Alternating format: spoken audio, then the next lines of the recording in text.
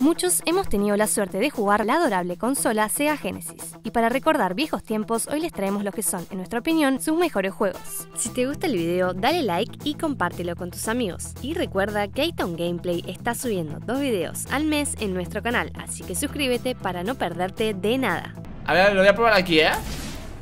¡Woohoo! ¡Dale! ¡Oh my god! ¡Oh my god! ¡Oh my god! ¡No, no! ¡Esto es una locura! ¿Qué dices, tío?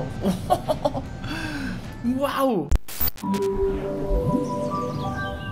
Dragon Ball Z Buyu Retsuden cuando Dragon Ball Z aún no había llegado al país de manera oficial, algunos cartuchos de este título llegaron a hogares para volver locos a los fanáticos de Sega. Aún en japonés, supimos aprender sus mecánicas que incluyen movimientos personalizados para cada uno de sus personajes, ataques de desesperación y amplios escenarios prácticamente dibujados por el mismo Toriyama, los cuales funcionaban en dos partes, cielo y tierra, lo que no solo aumentaba su tamaño, sino que también permitían desarrollar estrategias de combate ajustables a las técnicas de nuestro personaje. Mientras que era un tanto corto en modo campaña, su nivel de dificultad ajustaba la balanza, pero el verdadero paso del juego se encontraba en el modo versus. La brillante experiencia de Dragon Ball Z Buyo Retsuden ha arruinado amistades, pero de la manera más divertida posible.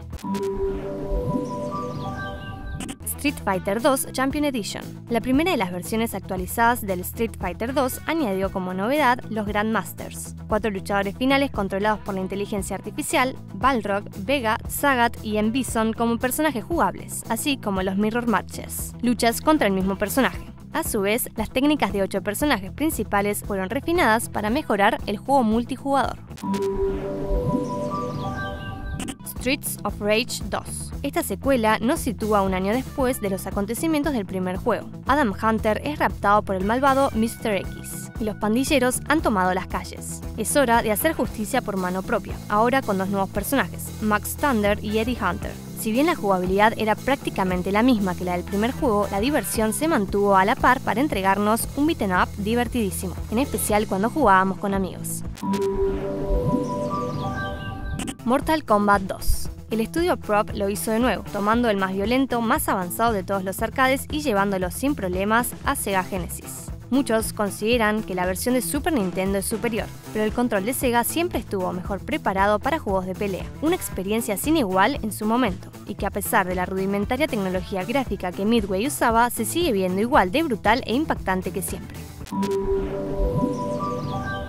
Sonic the Hedgehog and Knuckles el plan de Sega era llevar a su popular Erizo Azul a la cima con un juego más largo, complejo y variado que cualquiera que hayamos visto para consolas. Tanto que tuvieron que separarlo en dos y a la vez darnos forma de jugarlos a la vez. Cada nivel diseñado para dos personajes distintos, con miles de secretos para descubrir. Visualmente impactante, ajustado, adictivo, gaming puro. Un ejemplo de lo que mejor podía hacer esta consola adorada por los gamers de todo el mundo.